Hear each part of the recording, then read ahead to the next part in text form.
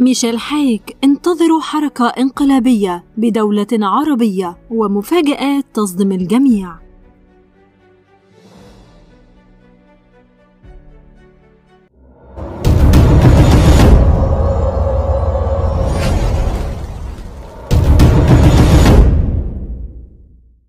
أهلا بحضراتكم معانا في قناة الأبيض وحلقة جديدة من حلقات توقعات ميشيل حايك لعام 2023 وهنتكلم النهاردة عن مجموعة خطيرة من توقعاته العربية والعالمية.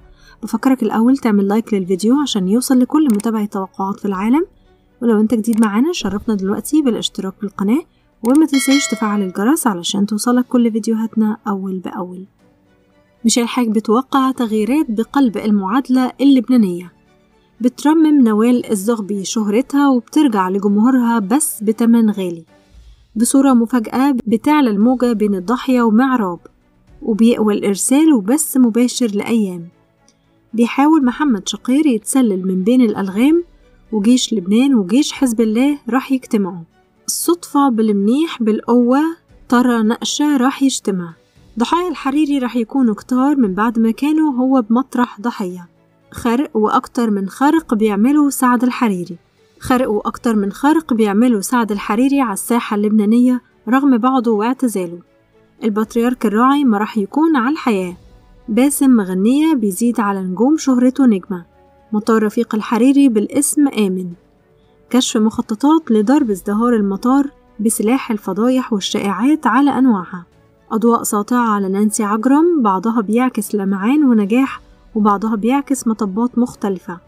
ملح مرياشي بخطط وخطط وبينطر ساعة الصفر. سنة حافلة ومتنوعة بأفق شيخ عقل طائفة الموحدين الدروز. سامي أبو المنى بعد اللي تركوا الطيار وعملوا بالروحة ضجة. راجعين وبالرجعة راح يعملوا ضجة كمان. حسام حرب مستشار تيمور جنبلاط بمواجهتين واحدة منهم بغاية الدقة. شايف إسرائيل بلبنان عم بتخطط لتفجير أكتر من معلم لافتعال حوادث ضخمة بتخض الاستقرار بالداخل ومن الداخل. توسيع رقعة التجسس وتوريط أسماء لبنانية معروفة. حركة انقلابية داخل حزب لبناني وكل اللي صار وعم بيصير بالبلد بكفي. واللي راح يحصل بالقضاء اللبناني من رأس الهرم لأسفل القاعدة مرورا بالمحاكم ومن فيها بكف التاني. اللي راح ينحكي بين الرئيس بري وسمير جعجع ما راح يبقى خطة سرية. هبة قواس بتأثر وما بيهم بتتأثر. نماذج أرمنية لبنانية بمجال اقتصاد صناعي إعلامي فني إلى العلا. الرئيس بري ما راح ينطر حدا والكل ناطرينا الباقي من عمر المجلس النيابي والرئيس بري راح يلعبوا صولد وأكبر. ملحم زين رصيد ما بيعرف الجمود وواحدة من مواجهاته كمان بتعرف حدود. غياب شخصية معروفة بيشكل خسارة قواتية. صوته صدى جورج وسوف بيكون بالذاكرة. بلبنان وسوريا ومصر وأبعد كمان. المحكمة الدولية الخاصة بلبنان ملف راح يرجع ويتحرك من جديد بقضية بتنفجر وبتتفجر. مريم فارس والعد العكسي لبداية انتفاضة وعباس إبراهيم لو تقاعد من شايفه قاعد. ملفات بالإيدتين مش بإيد والمهمات المستعصية بدال الوحدة اتنين وصار لازم له بدال المرافق اتنين. راح تثبت براءة جبران باسيل بأكتر من تهمة وملف. راح يترجم جبران باسيل بمحطات كتيرة شعار مكملين.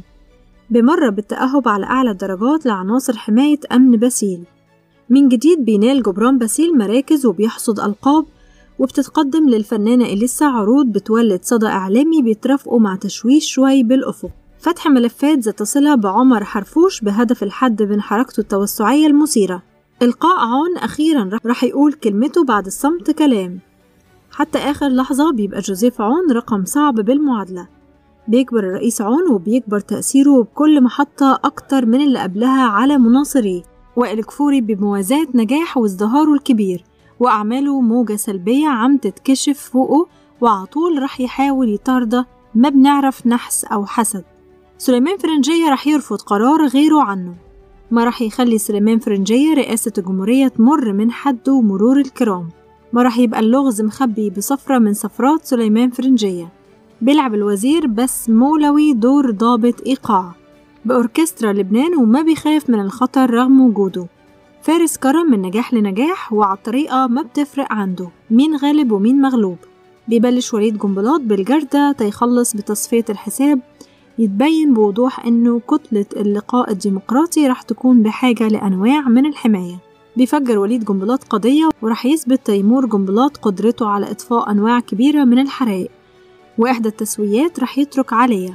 علي الديك بين صوت مميز وموقف عالي. مفاجآت بتعمل ضجة فنية وحدها شي تاني. راح يستخدم الرئيس مئاتي علم النفس وأسراره بكل معاركه الحكومية والسياسية. بختم توقعاتي قبل ما أوصل لورقة حزب الله وبقول إذا مش بكرة اللي بعده أكيد بتنحسر العاصفة بدوب التلج تصفى السماء وربيع السنة في لبنان آتي. حزب الله الاستراتيجية الدفاعية راح تتكتب حالا بحالا والأمور راح تتغير. سلاح حزب الله باسم جديد وآلية استعمال مختلفة. إصابة لكل الإصابات بتطيح بعمود فقري أساسي بحزب الله مجمع سيد الشهداء هالمرة ما راح يساعد حدث الكبير. كلمتين جداد قبل اسم السيد حسن نصر الله تيكون أكتر من أمين عام حزب الله وفي صفا أهداف وحرزاني. بيقدم حزب الله جناح من جناحه لحل معضلة لبنانية. محاولات جريئة لجوات حسن نصر الله حزب الله بيخرق التكاتف الدولي ضده وبيدفع تمن غالي.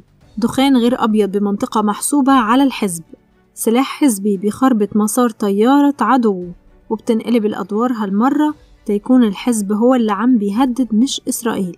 قدرات الحزب هي اللي راح تكشف إلى جانب القوى الأمنية مخطط لعملية تفجير أضخم من ضخمة ما راح يغطي الحزب بحرامات وفساد لا خصومة ولا اللي بيخصه أو بيخص غيره.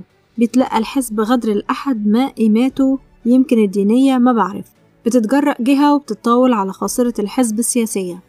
بطريقة ملفتة بيظهرها الحزب وبيظهر فريقه الرياضي وبيظهره للعلن.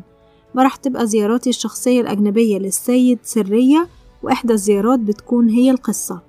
بالصورة إعلامي أو محلل سياسي مؤيد لحزب الله بيتعرض وبيبلبل إثر موقف وإطلالة. تبادل رسائل غير أمنية بين السيد حسن وجهات كبرى لبنانية.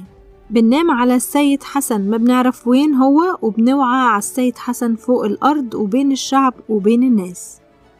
وطبعا الأعزاء بكده نكون وصلنا معاكم لنهاية حلقة النهاردة من أهم وأخطر توقعات ميشيل حايك العربية والعالمية. بشكركم جدا على حسن المتابعة. متنسوش تعملوا اللايك والاشتراك في القناة. هنستنى تعليقاتكم وآرائكم ودمتم بكل الخير والحب والسعادة